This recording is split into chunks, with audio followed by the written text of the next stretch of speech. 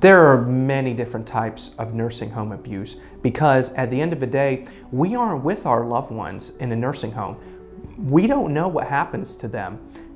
And someone taking care of our loved ones is most likely not going to be giving them the proper care and attention and love that we would give our loved ones. So things happen and our loved ones are injured.